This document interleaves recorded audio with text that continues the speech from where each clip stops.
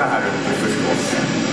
Och, eh, eller snarare, man ligger på rygg där uppe och väntar några timmar, halvsover. Till det börjar röra på sig och låtar. Då vaknar man till kan jag säga. Och när de här motorerna har varvat upp och de där brakar på bostrarna. Då vet man att man åker någonstans i alla fall. Helst hela vägen ut i rymden. Det var skapligt både fysiskt och psykiskt, när det brakade oss. Men mest så skrattade jag bara där inombords i min rymddräkt. Det är 2000 ton som går till det. Så behövs det kraft. Vi har 50 miljoner hästkrafter.